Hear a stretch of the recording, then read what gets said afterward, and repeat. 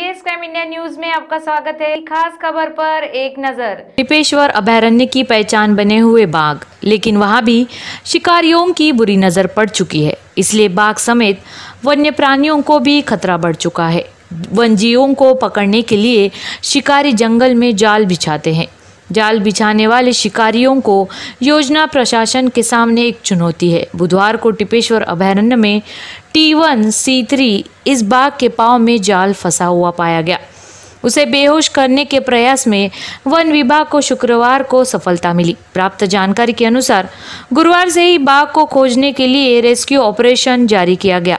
शनिवार को सुबह साढ़े पाँच बजे से लेकर मुख्य वन रक्षक तथा क्षेत्र संचालक पेंच व्याघ्र प्रकल्प नागपुर को रेस्क्यू ऑपरेशन में शामिल हुए।